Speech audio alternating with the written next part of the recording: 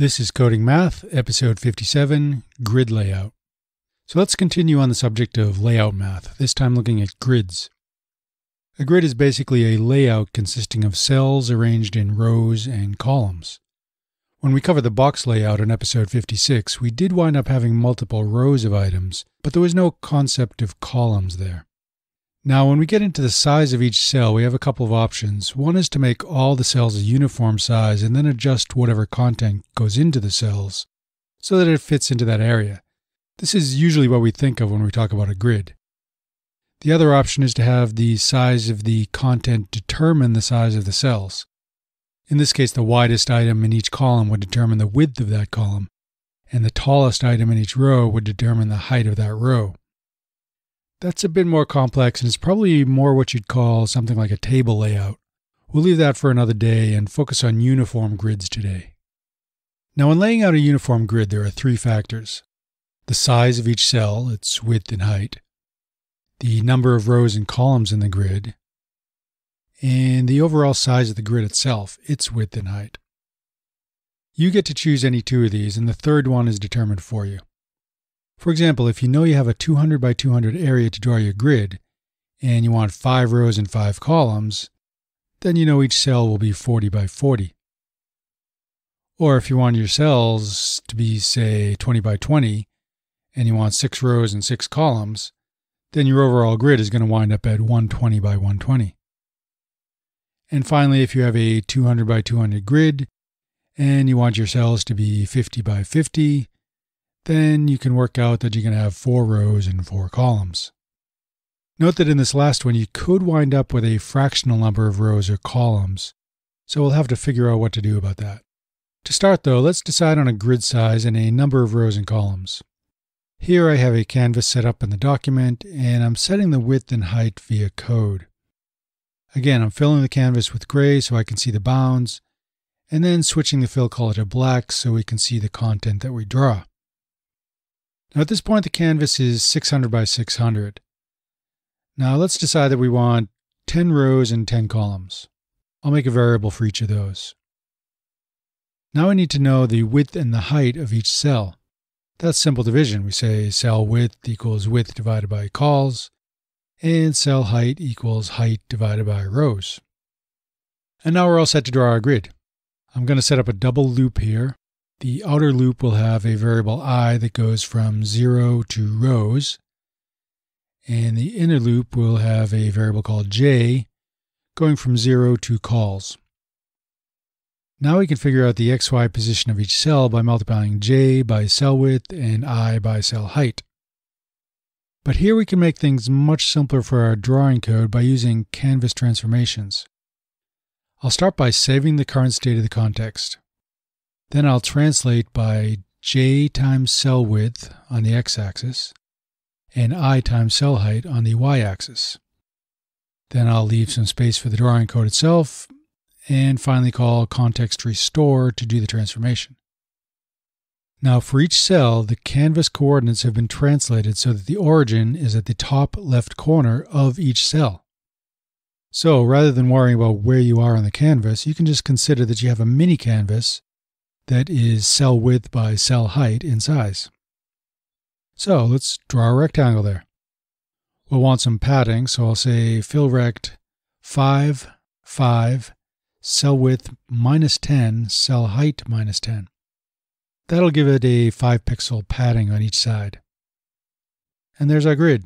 Very nice.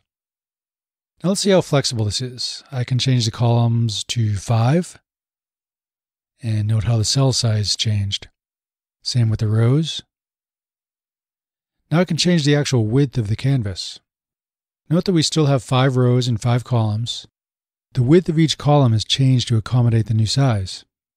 And we can do the same thing with the height of the canvas. And I'll just restore everything to how it was originally. Now let's take one of the other options. Say we know the size of the cells we want and how many of them we'll need to determine how big our canvas should be to fit all that. So we start up top by defining what we know, cell width and cell height, say 50 by 50, and rows and columns, let's say 10 by 10. Now we can figure out the overall width and height and assign that to the canvas. Now, when we run this, we see that our canvas is shrunk to 500 by 500 in size. If we make the cells bigger, the canvas gets bigger. Or if we change the number of rows and columns, the canvas grows or shrinks to fit what it needs to. Note that we didn't have to change any of the grid drawing code at all. That just needs to know how many rows, columns, and the size of each cell. Now finally the last option. You know the size of the grid and the size of each cell. How many rows and columns do we need? We'll go back to setting the canvas size manually. And we'll set cell width and cell height. In this case, cols is width divided by cell width, and rows is height divided by cell height. And that works fine for the numbers we're using right now. But what if we set cell width and cell height to 70? Now 600 divided by 70 is 8.57 something. And that's just what we get 8 columns and part of another column, 8 rows and part of another row. The best we can really do here is round down the row and column count. We can do this by wrapping those calculations in a call to MathFloor. Now, this leaves you with some extra space, but at least you can see all the cells. You could get fancy and add some padding to the top and left to center the whole thing. Or once you've calculated the number of rows and columns, you could go back and adjust the cell size or canvas size to make things fit better. I'll leave those options for you to explore if you run into that situation. For now, I'm going to go back to the very first configuration, where we know the canvas size and the row and column count. Now, so far we've just been drawing rectangles, but we can draw whatever we want in here. Again, just imagine you have a mini canvas that is the size of a single cell. Here I'll begin a path and loop through 50 times. In each iteration, I'll call context line to, passing in a random number from 0 to cell width on X and 0 to cell height on Y. And we'll finish up by calling stroke. Now we have a grid full of random scribbles. Let's try drawing circles. For each cell, I'll begin a path, then draw an arc. The arc's xy will be the center of the cell, cell width divided by 2, and cell height divided by 2. For the radius, at this point we can choose either half the cell width or half the cell height, as they're both the same. But really it should be the minimum of those two values in case we get non-square cells. I can actually pre-calculate this because it's not ever going to change within the loop.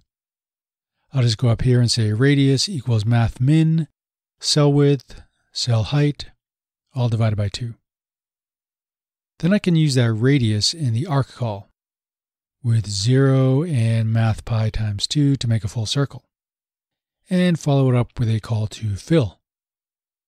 Now we have a grid of circles. We could add some padding in there by saying radius minus 5 if we want.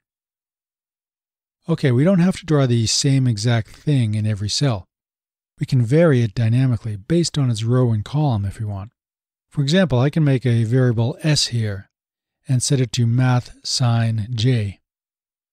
That'll result in a value that oscillates from minus 1 to plus 1 as we move left to right.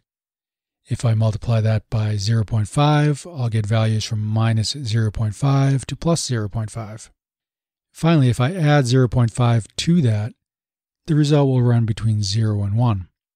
Now down in the arc statement, instead of just a static radius, I can say radius times s. Now as the circles go from left to right, they cycle from 0 to the full possible radius.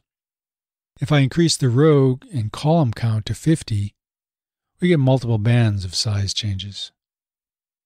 Now I can mess with the values of here a bit. If I change this to 0.25 and this to 0.75, I'll get values from 0.5 to 1.